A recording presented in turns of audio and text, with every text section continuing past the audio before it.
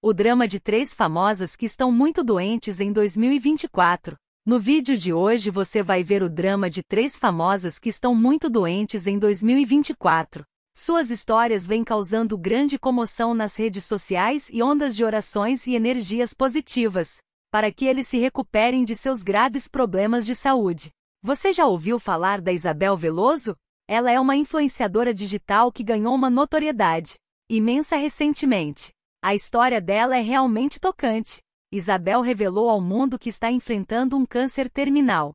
Infelizmente, a doença não tem cura, e agora ela está em cuidados paliativos. O foco do tratamento dela é trazer o máximo de conforto possível nesses últimos meses de vida.